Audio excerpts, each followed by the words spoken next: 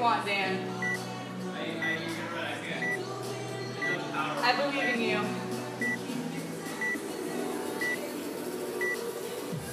Dan, remember when we did that deadlift workout together at regionals? And we crushed everybody? We're so good.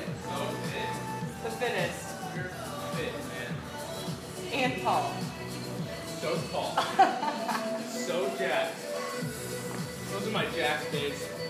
You were really jacked. What was that? Were you doing the same thing, same diet I'm doing now? When you like Same diet? I'm just eating eggs. There was a time where you had a weird diet. No, I, I, I think It I was, wasn't a fun. I think I was eating anything back then. No, but there was a specific time where you were like, Really? yeah. Maybe, yeah. I don't remember.